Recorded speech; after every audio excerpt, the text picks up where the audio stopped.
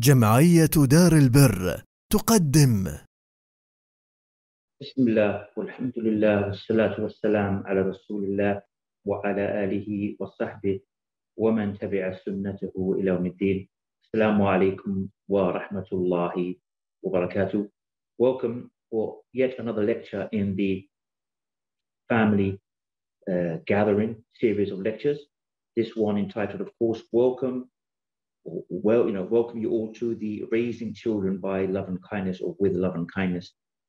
Now, before I go into that, that topic, and to be honest, it's quite a long topic. So I've put together a list of certain uh, certain things I, I hope we'll be able to cover them during the time. And I hope that they at the same time as well uh, will we'll, we'll be able to cover the most important points. But before we go into the topic of um, you know, the topic of raising children, I uh, with love and kindness, I feel it's very important at the same time to make sure that we discuss generally about raising Muslim children and about finding a balance because there is two aspects. There is the aspect of raising children with uh, love and kindness, and there is also the aspect that we are facing where how do we balance? Do we be, are we, should we be, should we be very strict? Should we, should we be relaxed? You know, where is, where is the, uh, as they would say, the middle, uh, the middle line? So finding balance, first of all, um, in raising Muslim children. Now, as we know, Islam is all about moderation. And for everything that is permissible, there is a reason. And likewise, with everything that is not permissible, there is always a reason, and it's always in our best interest. So raising, raising children as Muslims definitely requires determination and zeal, but a lot of love, leniency in certain matters, of course, and being gentle.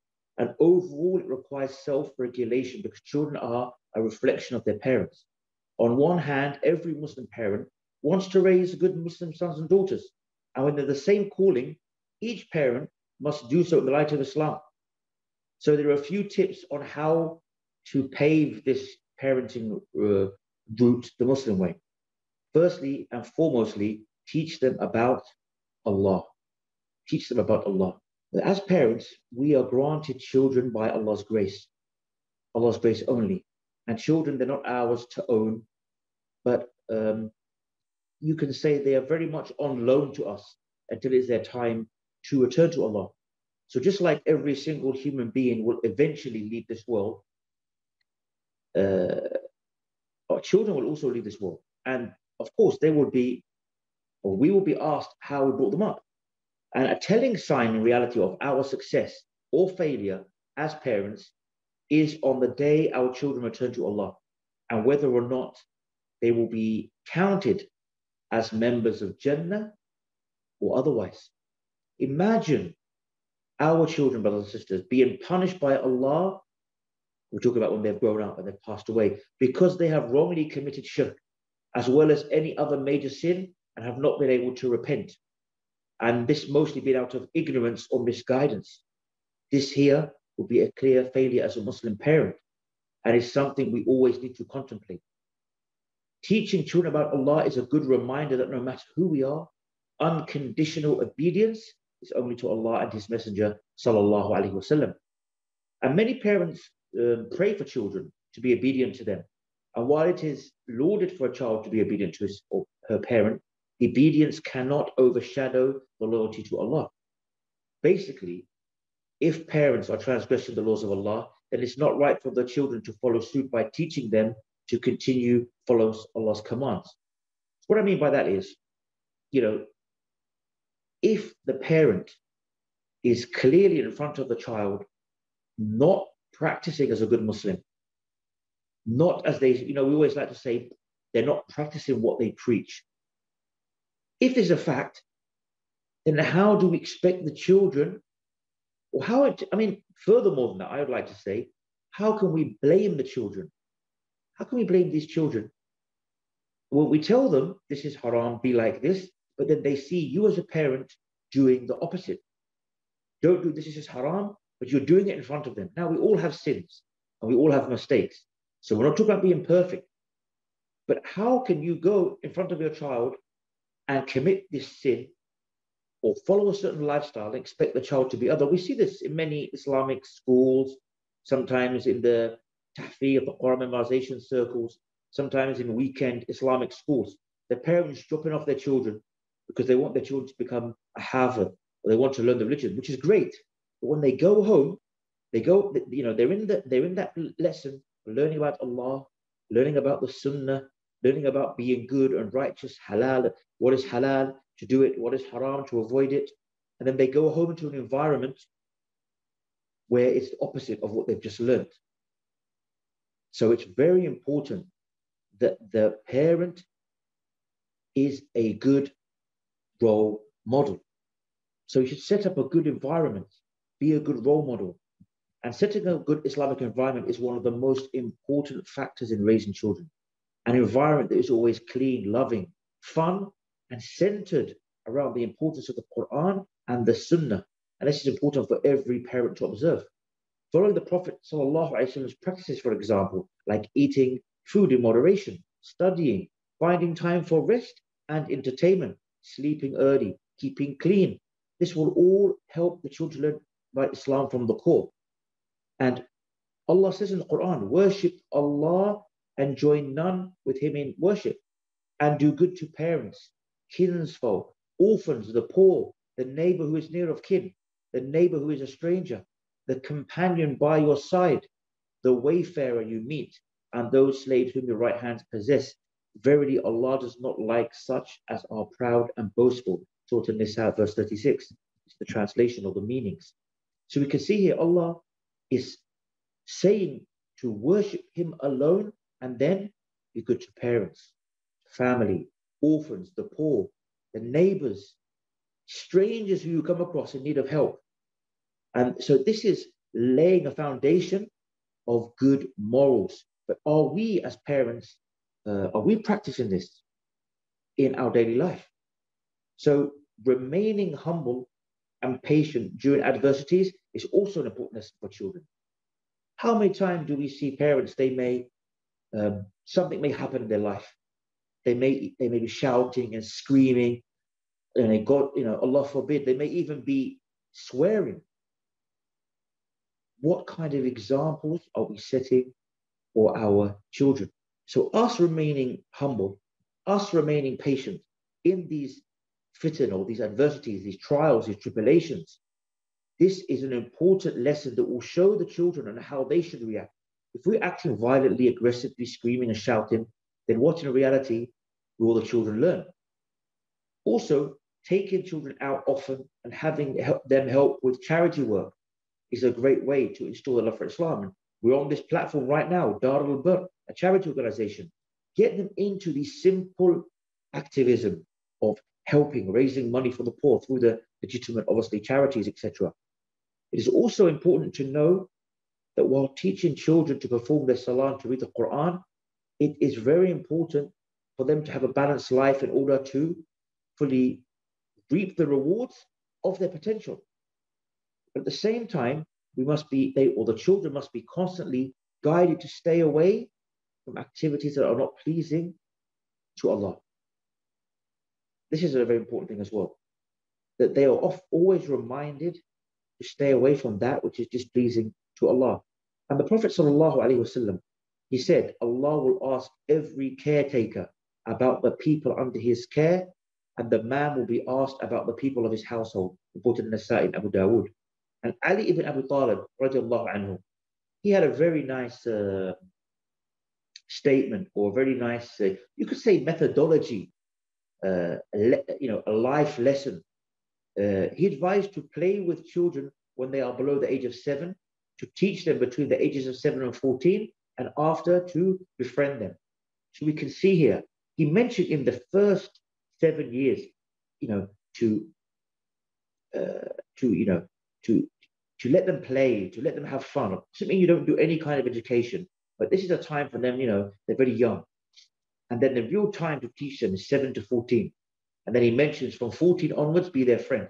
And anyone who has has children, uh, grown up children, will, will be able to relate to this because, especially the teenage years of 14 and above, especially 14 to 20, 14 to 19, 14 to 18. It's a very, it's a very uh, stressful time, you could say, not necessarily for parents, for children. They're going through lots of changes. There's lots of temptations. There's lots of desires. There's lots of issues that are coming up. And this is a time where they really need a friend. And this is where it can be difficult for the parent as well to be able to, to be able to kind of take a step back and not be the one who's just saying, do this, don't do that, this is wrong, this is, but to try and while doing that, become a friend to the child. And this is, you know, this is something that, you know, no doubt is not easy, but if we try to keep this in mind, the advice of Ali ibn Talib, um, this is important, and it's why it's important to take note of their ages. You cannot treat a three-year-old the same as a ten-year-old, etc. So teaching a three-year-old to help with household chores, for example, or to memorize the Quran on a very structured basis may not be as effective as having an eight-year-old do the same thing. And similarly, um, uh, maybe I don't know a 15-year-old who has been who has been never taught to pray will have more difficulties uh, getting the habit as a six-year-old who constantly watches his parents. And that reminds us of the Prophet ﷺ, he mentioned to teach the children to pray at seven and to beat them or hit them when they reach the age of 10. And as we know, this is not the kind of beating which is a physically damaging beating, bruising. It's not a violent beating. Rather, it's that it's that uh, kind of admonishing, uh, you could say, uh, slap or hit um, to make them understand that this is something that needs to be done, like we like parents do with so many other things. Um, and that's why it's important to start, not wait until the child turns to 10 and then start teaching them, or 13 or 15, and then complain and wonder why their child does not do the habit of praying five times a day. And it's never wrong, don't get me wrong, it's never wrong to teach children early on about Islam. But it's important to understand the levels of understanding, what they can comprehend, and their uh, maturity. And children who are pushed too early or too harshly may end up with a rebellious streak when they when they feel that teachings of Islam were not accompanied with proper reasoning or understanding. And that's something as well. When you are forbidden the child, we focus on haram, haram, haram, but we don't necessarily also say halal. We focus about Jahannam and Jahannam. What about Jannah?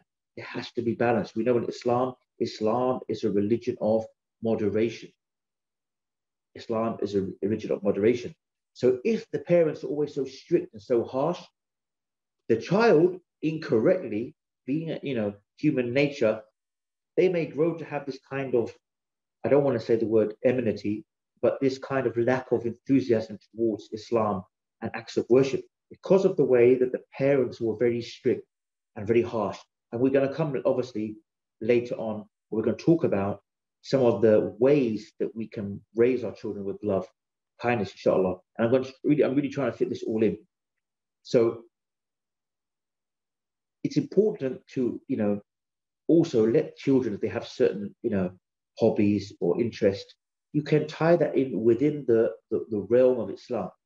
And we often say that there are many, uh, the reality is most things are halal. If we look at the majority of entertainment, now what comes to mind is the entertainment like music and partying and cinema and you know those ones. But what about all the other ones like horse riding and water sports and climbing and biking and martial arts, you know, that aren't punching the face. So many things out there for children to do that are halal, but the shaitan and societies make us think that everything is haram. But in reality, if you count it, just like if you were to count drinks that were, you know, that were not allowed to drink, basically alcohol, and look at all the other drinks that we can countless number of um, of drinks that we can. So it's important to to make the child understand that in reality, what we can't do is which is haram, is very limited, and what is halal is very wide. But we have to help them to embrace and enjoy the halal things. If we tell them you cannot do this, is haram, this is haram, and this is haram, but we don't provide them with the same amount or more than that in halal activities, then they'll only understand everything is so strict, everything is so, you know, constrained, I can't do anything. And they see the other children enjoying these things, and eventually they start to go towards um, they go towards them. And of course, it's all got to be with compassion. The Prophet ﷺ said, whoever has no compassion will not be um, treated with compassion. And he also said, you know, that the uh, that, that whoever does not have mercy, uh, have mercy upon those on the earth, and the, the one uh, who is in the heavens will have mercy upon you. So, what we must make sure we do, or should I say, put it this way: at the end of the day, it's important for parents to be reminded that we have to protect our families. That is very important. But we can do this protection and shielding them for that which is forbidden, that which is haram. We can still, obviously, and we have to do it with love, have fun, play with our children. And we need to be reminded of the real dangers of the world, where we run into the excess of materialism, wastage of time, and energy channeled into activities that are beneficial for us. But at the same time, it's important to teach children about Islam in a way that they can relate to it in moderation. The Prophet ﷺ would do it with kindness and being gentle. And there is no point coercing a child to fast or to give in charity so much so he or she grows up disliking things that are good for him or her. And at the same time, it is not appropriate to make permissible something that is not permissible. So we cannot be too relaxed either, where we start to allow children to do things that are haram just to give in. And this is why we know that one of the verses Allah says that indeed that your um, أموالكم إنما أموالكم وأولادكم فتنة that indeed that your wealth or your property and your wealth and your children are a, tri- a trial for you. Meaning this kind of situation when you bring a child up do you give in and let them go with the flow? Let them go with the so-called crowd? Or do you uh, do you do your best? Of course that may it may happen.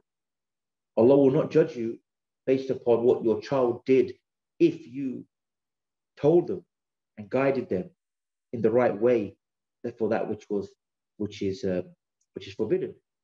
And it's always a great reminder, great reminder for us that we have to be fair with our children.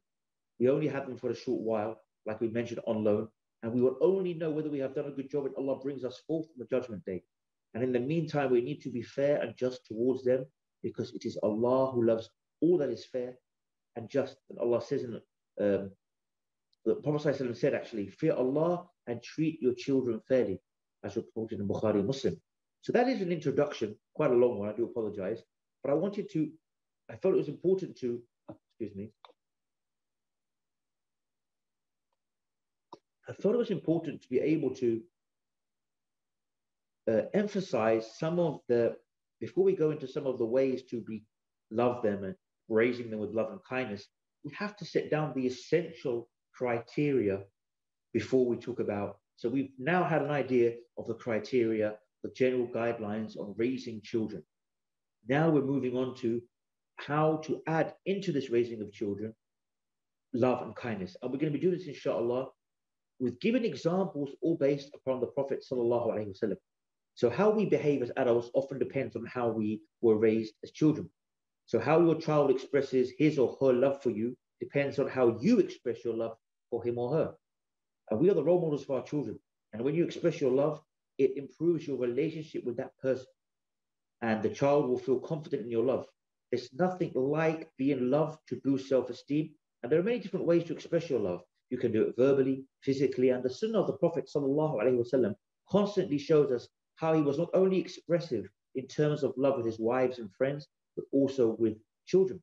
So following, so the following are some of the ways that we're going to mention you can copy the Prophet ﷺ, follow his sunnah, inshallah, and bi'idhnillah, by the will of Allah, see your relationship with your children blossom and get better, inshallah. And the Messenger of Allah sallallahu alayhi wasallam says, well, one of you loves his brother, then let him inform him of it in Tirmidhi. So first of all, speak your love. And we know as a parent, you do everything for your child that should be considered love, right? But consider expressing your love as following a sunnah and inshallah, it will get easier to express more. Just saying I love you more often. Allah's Messenger وسلم, asked three times, Where is the small child? Then he said, Call Al Hasan ibn Ali. So Al Hasan ibn Ali got up and started walking with a necklace of beads around his neck. Prophet وسلم, stretched out his hands, and Al Hasan did the same. And the Prophet وسلم, embraced him and said, Oh Allah, I love him. So please love him and love those who love him. In Sahih Bukhari. So the first thing that comes to mind when we hear this is you think of telling someone that you love them is to say, I love you. Three simple little words that sometimes we find it very hard to say, but can have a power to strengthen relationships into a tight bond. If you love your children, then let them know through words, say, I love you often. Or you can also do this through positive affirmations. So, another way to verbally express your love is to give positive affirmations, such as, for example, you're my loving son and daughter, or you brighten my day. And also give positive feedback that, you know, lets them know or shows them your love for him or her. This can be said with very simple things like, I appreciate your help. I love it when you hug me.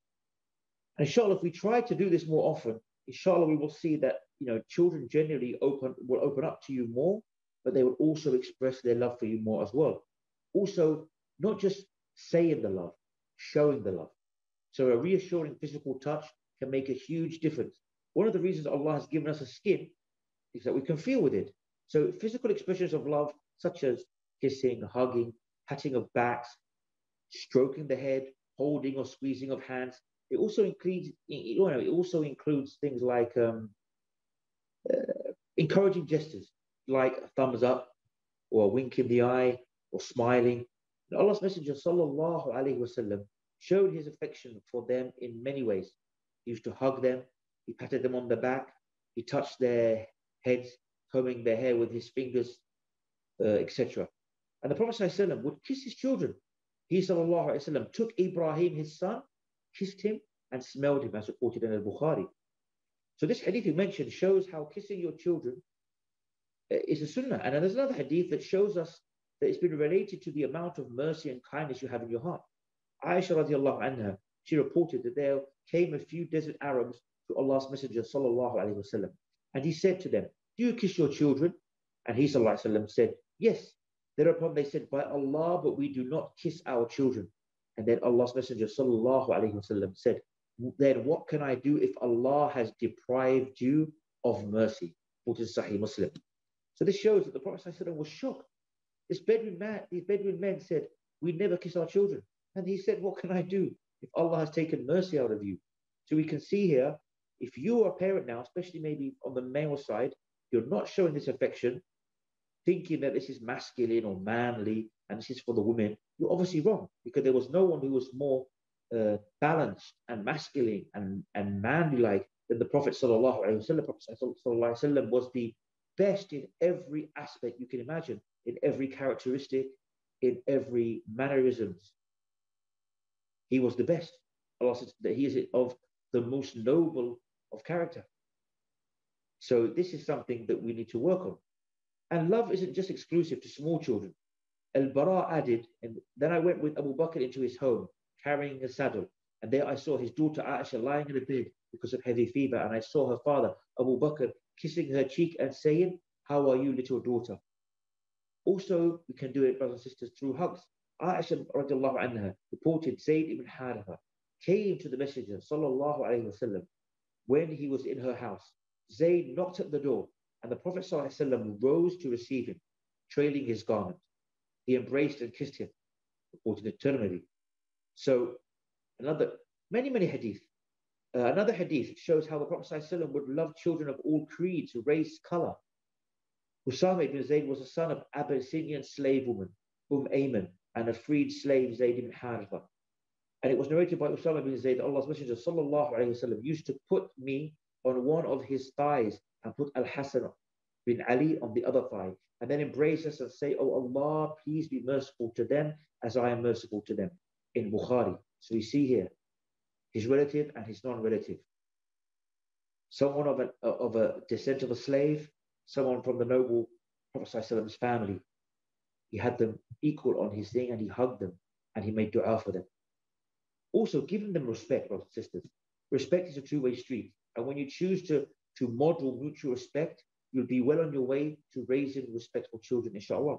Aisha anha said, I did not see anyone who was more resembled, who more resembled the Messenger of Allah sallallahu wasallam in a manner of speaking than Fatima. When she came to him, he stood up for her, made her welcome, kissed her, and had her sit in his place.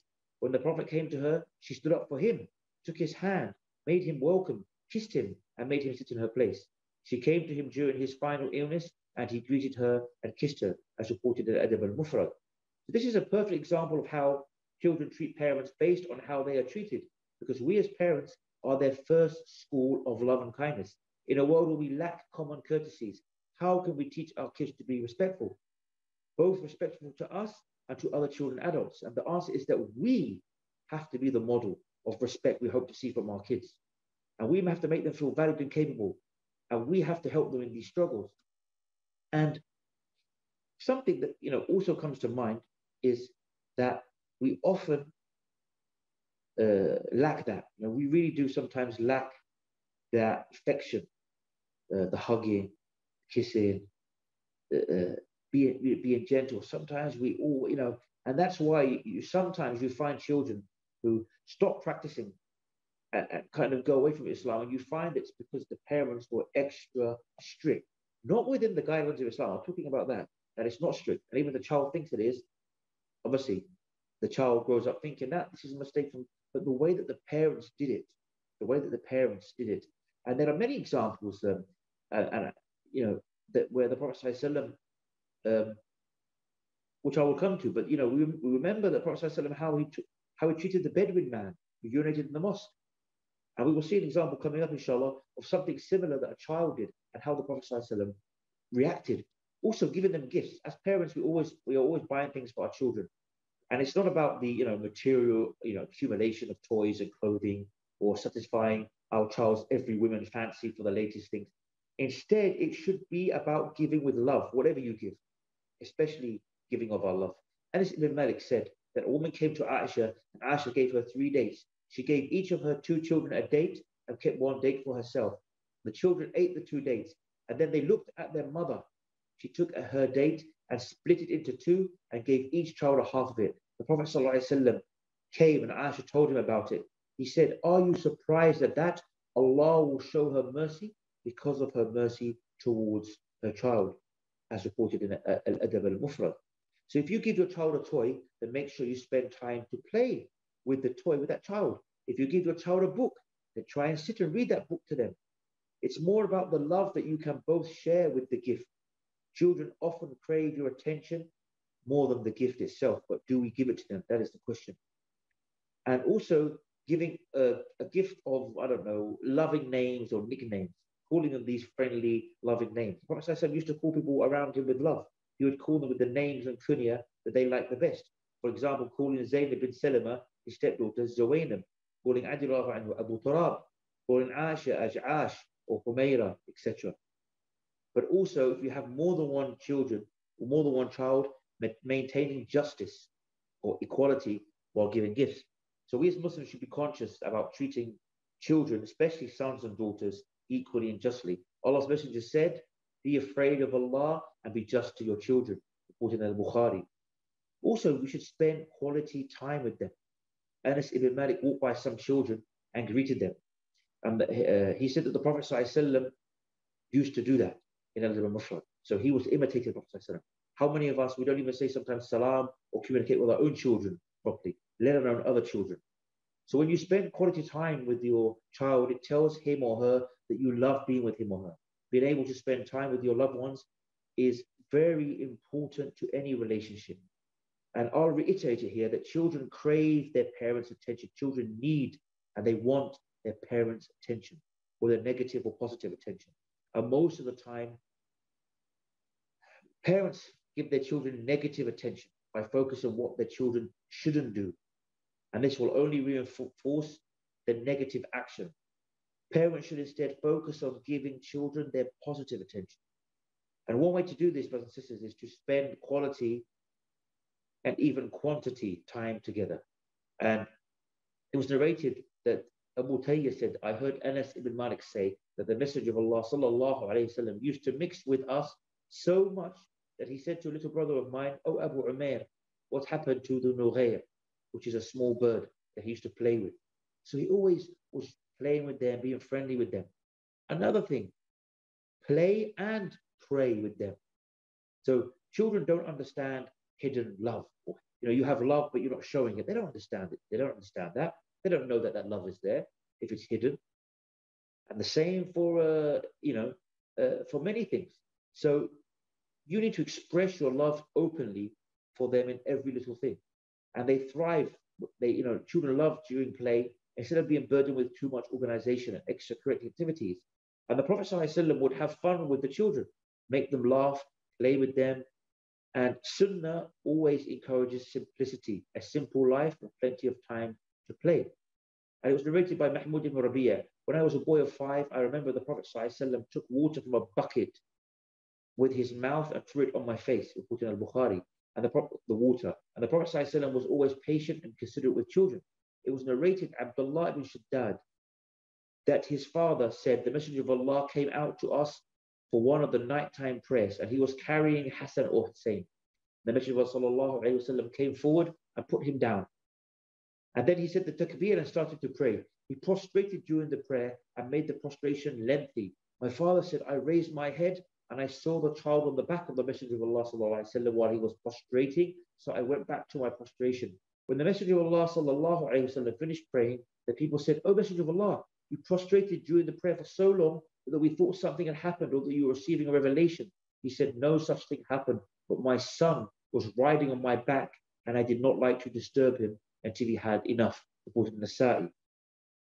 And you know, as we mentioned before, we mentioned the statement of Ali ibn Abi Talib about uh, about the playing uh, uh, uh, you know, playing with them and then teaching them and then being their friend.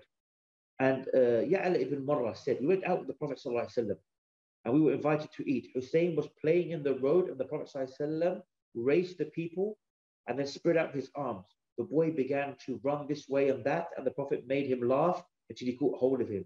He put one of his hands under his chin and the other on his head and then embraced him in Al Adab al Mufrad.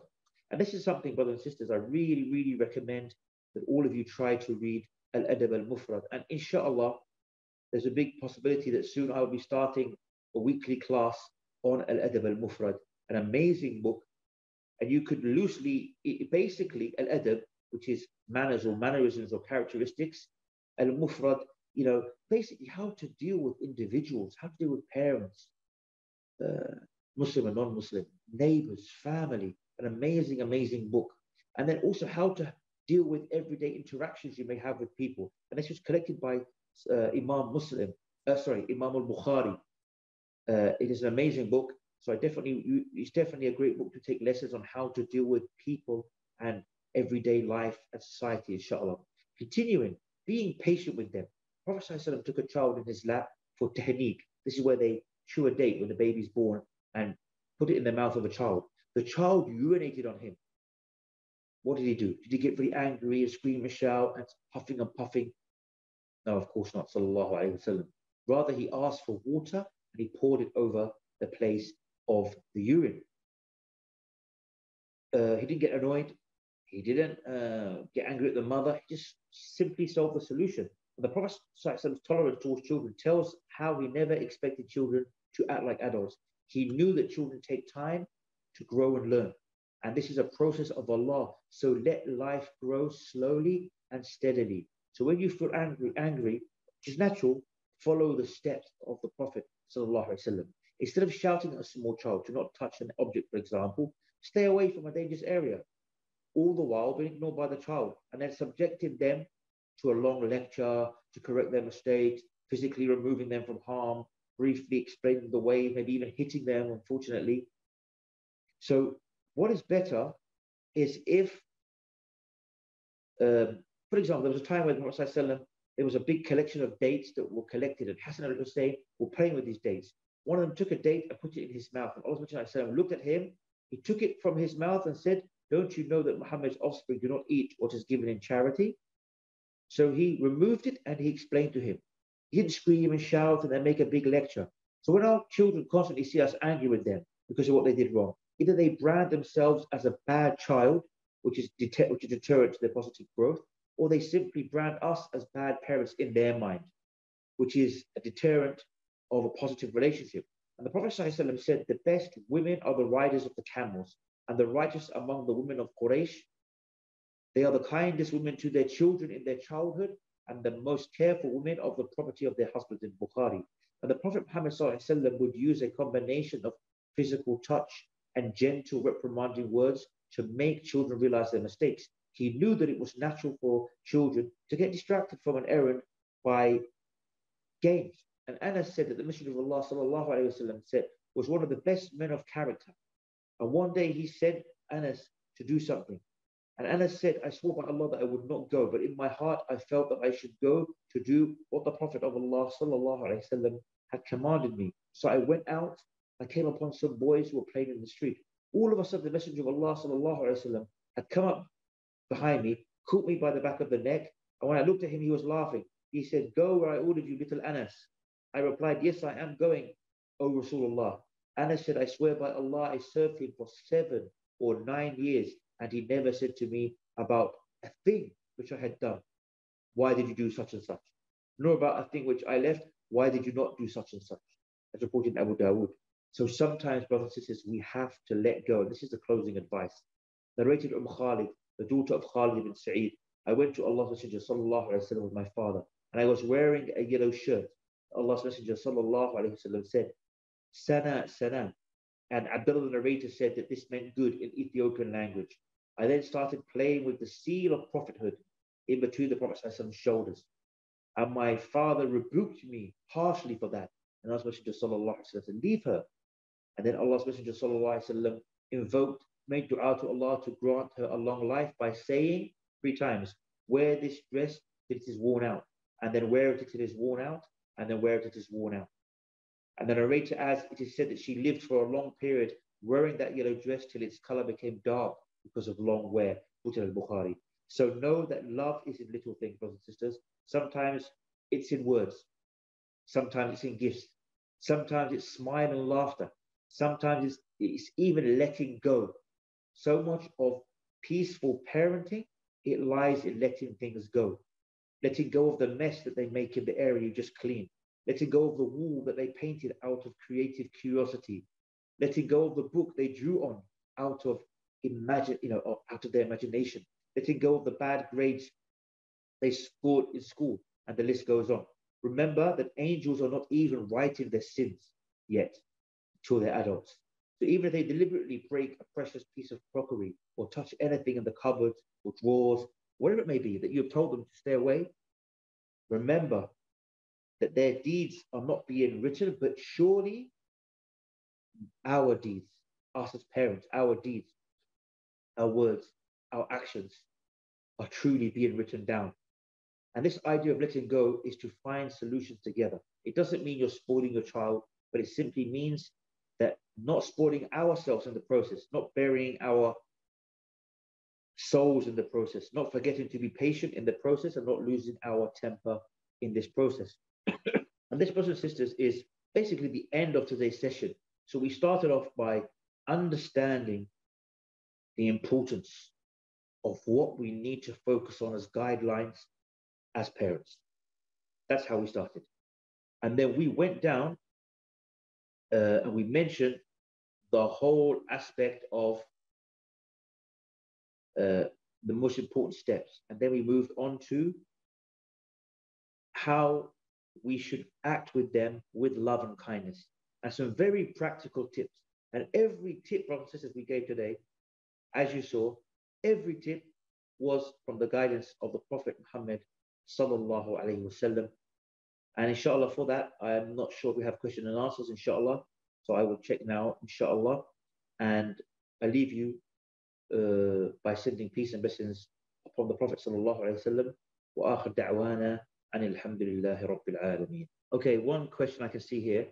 Um, please mention the name of the book. I'm assuming you're talking about the book I mentioned of written by Sahih Bukhari, uh, Imam al-Bukhari. Now, there are not many translations of it, to be honest. I only found one. so I'm not recommending the, it's, it's, it's translated by the UK Islamic Academy. I'm not recommending any other books of theirs. I don't know anything about them. So don't take this as a um, don't take this as a recommendation for the society, but they're the only ones I know of who have translated it. And the name of the book is Al Adab Al Mufrad. Al Adab Al Mufrad. Um, I hope that's done. Uh, uh, Jibril, inshallah, is, is okay to my knowledge, from what I remember from the scholars, is the name of Jibril is okay, inshallah. Wallahu alam. Are there any online classes? At the moment, uh, we don't have uh, classes. I'm not sure. There are some online classes. Sorry, yes, we have. You can go to um, Islamic uh, DX Islamic IC DXB. There are classes now with Sheikh Faras Al Hamadi for boys and girls. I believe that, that it's just started. I can even, while I'm here, I had it on my phone, so I want to make sure that I can give you the information, inshallah, while it's still here. Um, bear with me, inshallah. Don't want you to, uh, and maybe the team as well. Maybe they're going to type as well. I'm not sure. Um, they maybe the maybe the team they can also type the answer. Um, I'm just looking for it. Bear with me. Um, Islamic ICDXB, which is we're in cooperation with. Um, I'm not finding it here, but there is a new program with Sheikh Faras Al Hamadi in the English language, designed for uh, children from 8 to 14. Uh, inshallah, they should be typing it here. Um, but that I believe that will also be broadcast via Islamic ICDXB. Uh, so Please advise us on how to deal with abusive parents. Jazakallah khair. Um, I, I, don't know how old you are. Um, I don't know how old you are, to be honest. So that could be a difficult one. But whatever the case, um, parents need to be dealt with the utmost respect. If they abuse you, you can't abuse them back. You have to um, do your best to deal with it. Um, it depends, you know. Again, it depends again about the uh, the abuse. How abusive is this? Is it abuse that um, is physical, or you're being beaten badly, or is it more verbal abuse? That depends. of course, if the child is being the, the child or a teenager or whoever it may be is being beaten physically severely, then that's obviously something for the competent authorities. Um, but if it's a, a verbal abuse, then the person has to take it. And every time they take some kind of abuse or some harshness from their parents that is unjust, then they will be rewarded. One, you know, this is the level of reward is, you know, really quite, you know, amazing for the person who, uh, you know, with this, you know, uh, the urge to want to respond, the urge to want to answer back, but they don't because of the status of the parents, is a, an amazing reward. So that's just in a nutshell, because you know it all depends on how abusive and what kind of abuse. I'm just talking generally. Can you recommend books to teach children about Islam? Good question. There are some very basic books. I would start with a very nice book actually that um, is by um, Sheikh Muhammad Jamil Zeno. You'll find this in Darussalam. It's a very simple book, but a very amazing book at the same time. And it's called What a Muslim Believes. What a Muslim Believes. And it has all the important things about Islamic belief uh, in, in a form of question and answers. That's the book I would recommend to start with. And you can find other similar books. I'm just, uh, bear with me because I just remembered now I believe I have because I know somebody's asking when does this question, they're asking when do the classes start, and I'm pretty sure that they're referring to, um, which I'm not finding for some reason, the uh, Sheikh Faras al Hamadi. Um, but as far as I know, these courses are, are maybe just about started or um, are going to start, inshallah. What do you do if your children are acting mean, jealous, and bullying each other, putting each other down? Mm, difficult one. You need, with the gentle consequences, there needs to be, again, I don't know how old they are. If they're old enough to understand, you need to try, like we mentioned here, try to take which the child that's acting mean and jealous and bullying, try to take them aside and explain to them what they're doing is wrong. And then try to say, and explain to them on the opposite side what they are supposed to be doing and how that this is bad and how this is good. And then try to tie that into the fact that Allah dislikes it when the person does this, but Allah loves it when the person is like this. And this is the, the, the this is not a good characteristic, and um, this is a good characteristic. Along those lines, again, it's a very detailed thing, but this is just a general guideline. Uh, can we get a recording of the session? I believe, inshallah, this will be uploaded to the Islamic Information Center Dubai YouTube channel. Islamic Information Center Dubai YouTube channel. Uh, if I can, which you'll find on YouTube. Um, you can find it on YouTube, inshallah. Excuse me, I'm just, uh, yeah, it's literally Islamic Information Center. Um, Islamic Information Center Dubai.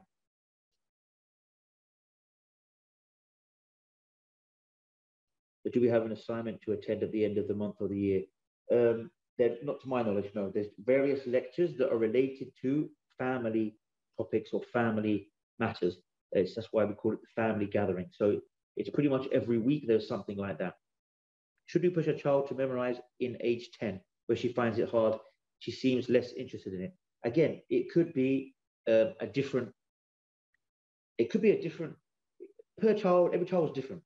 Some children are very like uh, receptive, some are not so receptive, some pick things up fast, some pick things up slow. Everyone's different. Everyone's, you know, unique and alhamdulillah, great in their own way. So if you're finding your child is less interested, try to reduce it. Uh, it depends as well how you're this memorization. If you're sending them for daily class for one hour, that's pretty manageable. They may find it hard. Try to reward them. Remember, we mentioned about gifts. Give them gifts. And the scholars have mentioned there's no issue in giving gifts, chocolates, sweets, toys for a child to memorize Quran. Absolutely nothing wrong with that. That's a natural thing for a child.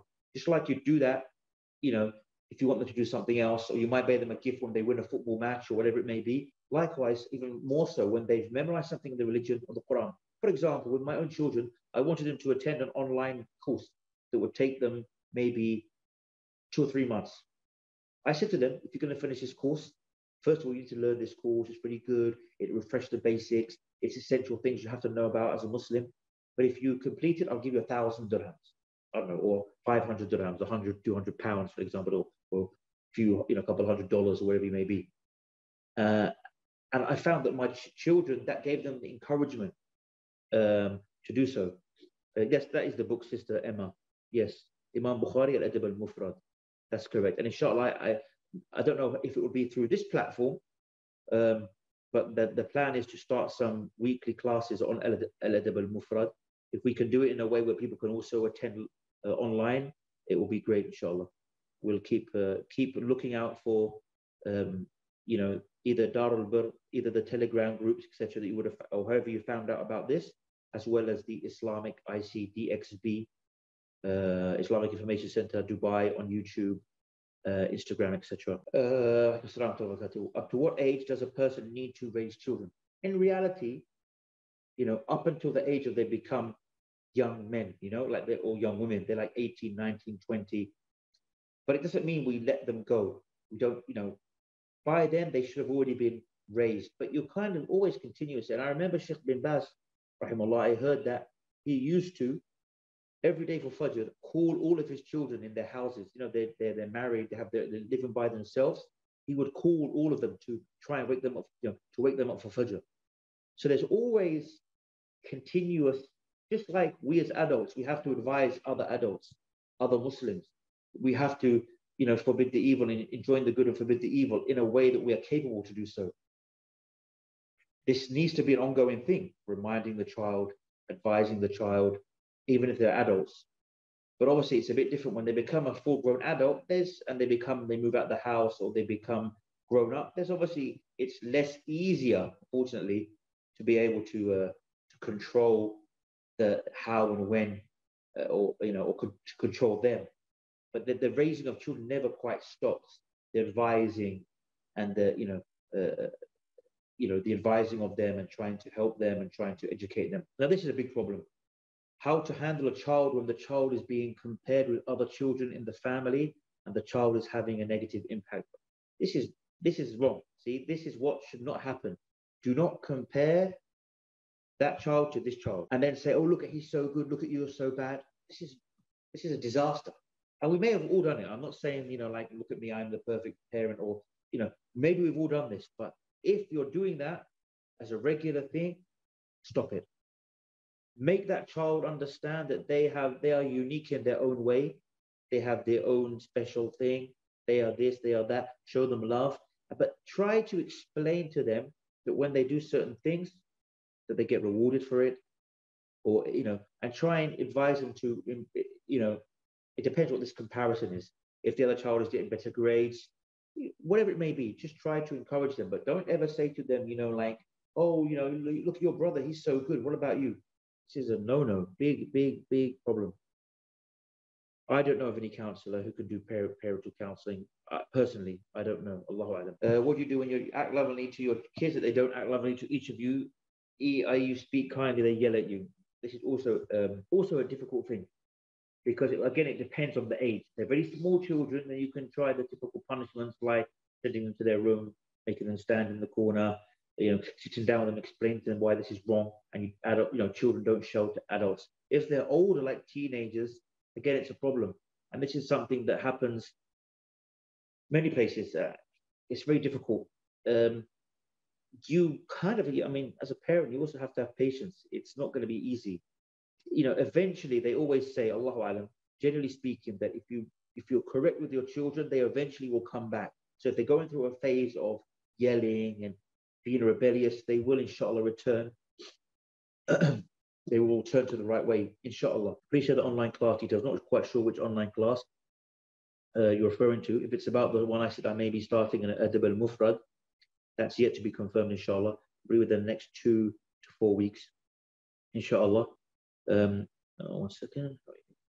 Yeah, this is also a difficult one. I mean, and I don't know if I'm the best to deal with it because I'm not in that situation. The sister's asking, how do we, how are we going to show our love or guide them properly if the parent is physically far from their children, especially those parents who need to work abroad. Though we love our kids, but for them it will not be enough just to hear the word.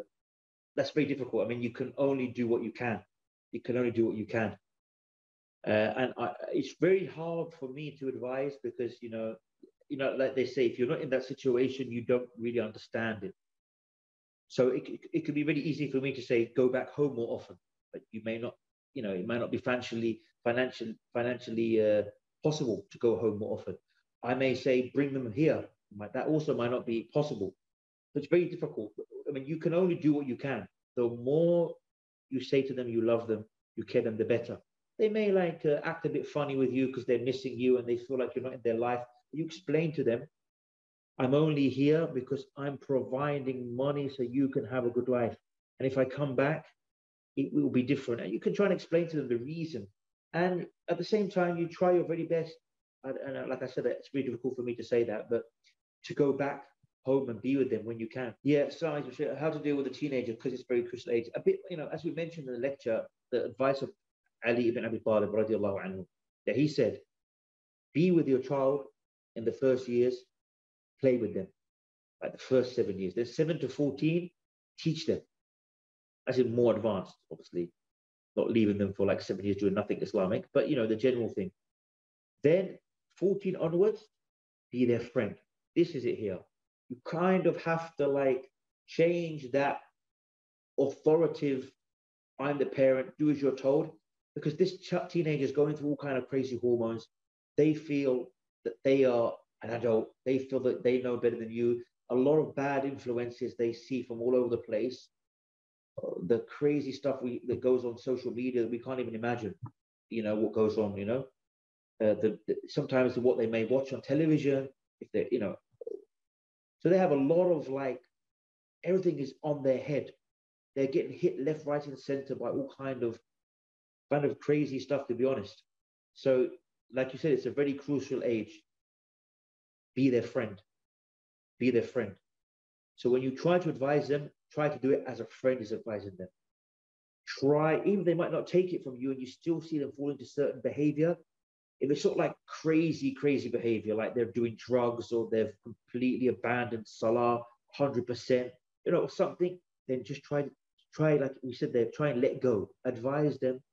Try to show to them, you know, that you're not angry with them, you don't hate them, you don't think they're evil or something like that.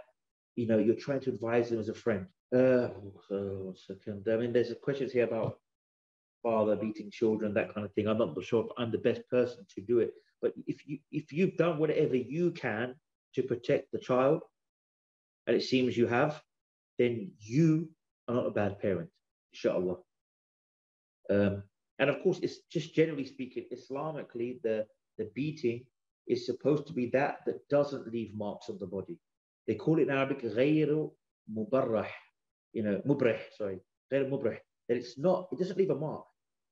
And this is it's not me saying this, this scholars, when you see these scholars that talk about disciplining children, you know, they will say that it's not, you know, when they talk about allowing to discipline the child, they say there should be no bruising, should no breaking of the skin, no bleeding, no scratching. It's not, it's not a beating to literally beat them, you know, like beat the living daylights, as they say, out of them. It's a, a kind of a, a physical hit just to let them know that you're upset with them. It's not like this violent beating, uh, etc. So if you have done your best in whatever way you can, or you can't do anything, then inshallah, Allah Alam, you're not inshallah, uh, you know, a bad parent because you know we know that the Prophet said, whoever sees a, a, an evil, either if he's able, then he changes it with his hand, and if he's not able, he changes it with his tongue, and if he's not able, then he hate he, he changes it in his heart, meaning he hates it in his heart, and that is the, the lowest of iman in this. So if the person is unable to stop it physically or verbally, but he hates this thing in the heart, then inshallah, you know, that's everyone does it according to their ability. What was the author for the book? What a mission should believe? I, I don't know. Oh, sorry, what a Muslim should believe. Muhammad Jamil Zeno, rahimullah, passed away, I think, around 10 years ago, was an, a Syrian scholar, one of the students I met, if I recall correctly, of Sheikh al-Albani, and he was a he was a professor or a teacher in um, the uh, uh, uh, in, in Mecca, the Jam al Hadith al Khairi or something like this, one of the uh, institutes in uh, in Mecca. What a Muslim should believe. Again, if someone say the Lord parent depends on marriage, definitely. If you're fighting and screaming and insulting each other and having a bad marriage in front of the children, of course, no doubt they'll have a negative. Um, and they are they are vulnerable and helpless, and they will pick up these negative things, and the parents are to blame for that. These things, it's not easy always, but the very best needs to be taken away from the children. Okay, as a teacher, how to advise, sorry, as a teenager, this is a teenager who's asking this question, how to advise my parents to stop doing bid'ah when I teach them, they ignore me.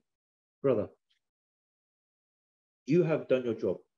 You've explained to them, you've explained to them about the bid'ah, You've explained, inshallah, hopefully with evidence and explaining to them, and they continue, leave them.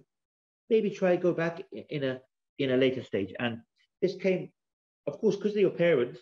It's, it's very difficult as well. You can't be too forceful with them, right? So you can only go and you know you can go to them and say, "Mom, Dad, you know I love you guys. You're my parents, you know, and uh, you know, you know I've come across this, you know, authentic information that this particular thing you're doing is not established by the Prophet and I love you. I don't want, any, I wouldn't want you to do anything, you know, anything that goes against the Sunnah. And I know I'm your son, and I know you're much older, you're much wiser than me. But I came across these very old classical scholars that said this, you know, that, that kind of thing. And if they continue, just take a step back.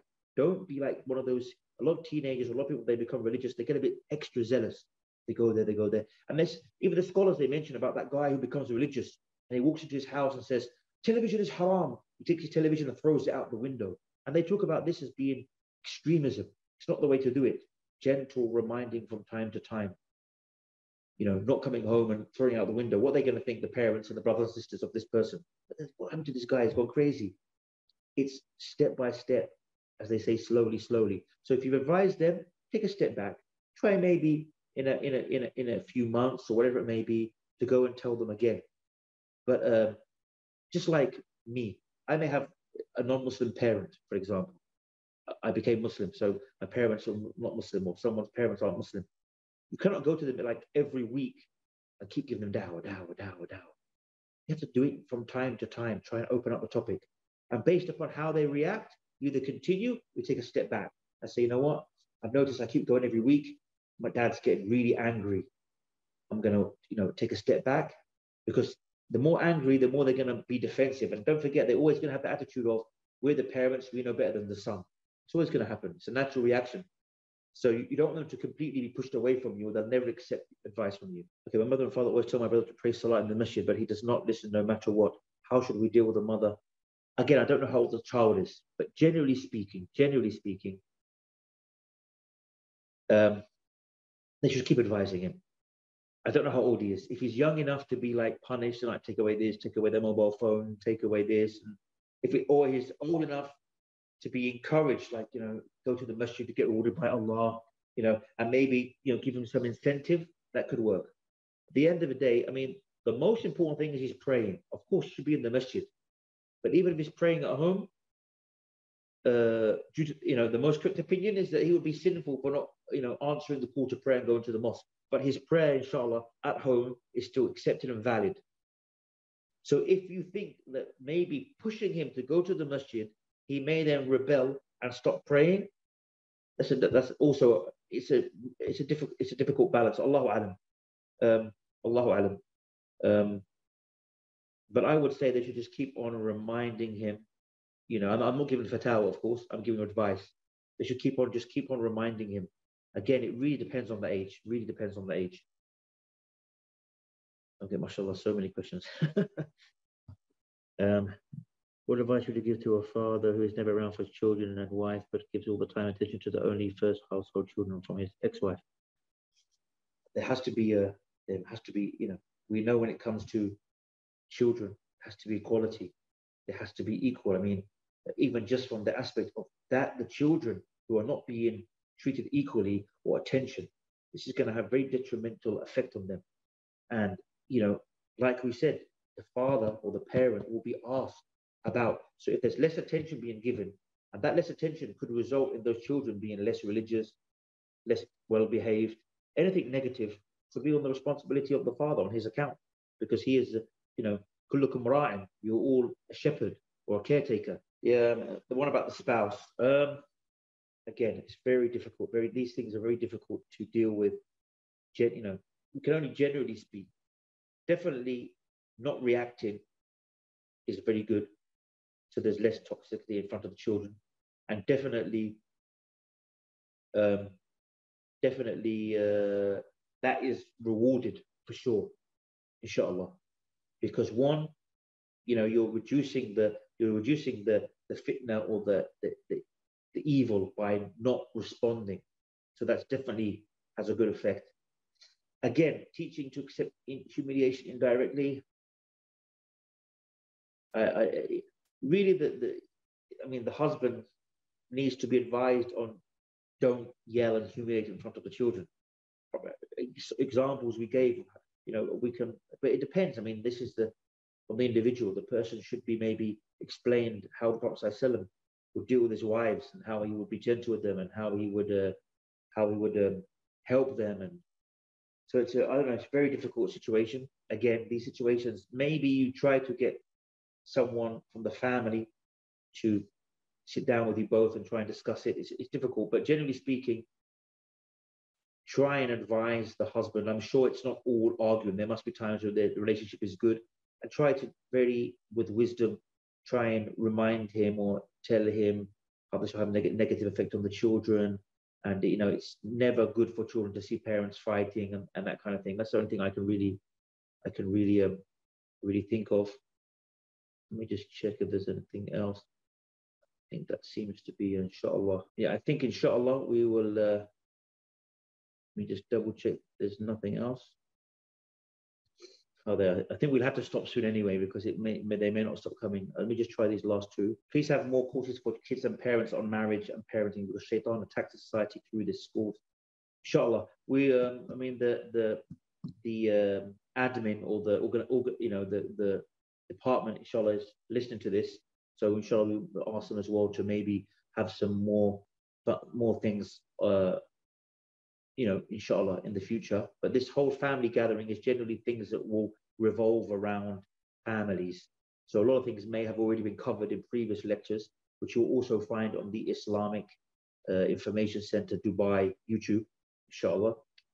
Um, how do you deal with a 12 year old? A lot of perhaps genetic negativity, racism. The child uh, has enough advice, blood, Islamic knowledge, and advice yet. Okay, again, they're 12. They're still, I mean, it's difficult to say they've had enough advice or enough love. The love is ongoing, the advice is ongoing, the Islamic knowledge is definitely ongoing. And it may just be a phase they're going through. Like you said, it may be a genetic thing. Just have to try and deal with it. When they're negative, try and be positive. When they're when they when they when they're being, you know, uh, pessimism, be have optimism with them, and, and, and just keep on going on. As long as it's not resulting in any really, you know, like aggressive behavior or very you know out of control. And then maybe that maybe that could be seen again. There's a problem you know when it goes to child psychologists or whatever it may be behavior experts are they within the islamic boundaries or not? Or will they you know talk about things that you know we don't agree with as muslims. But if it's something that's not like out of control to that kind of level extreme level then it's just a waiting game you know? Just a waiting game having patience always they're negative positive have pessimism, you have optimism. Allah um, Okay, inshallah, barakallah fikum. It's been a long one. Barakallah khair for tuning in. Anything that I have said which is correct is by the blessings and the tawfiq from Allah. Anything I have said is incorrect is indeed from myself and from the shaitan. And inshallah, until future les- uh, lectures, bi'idhnillah, I leave you inshallah. Assalamu alaikum wa rahmatullahi wa barakatuh.